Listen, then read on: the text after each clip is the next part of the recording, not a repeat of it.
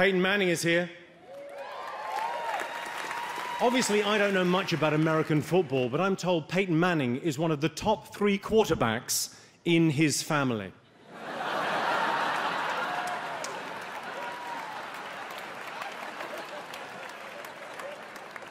Peyton, you look like if a kid with Down syndrome wished he was big.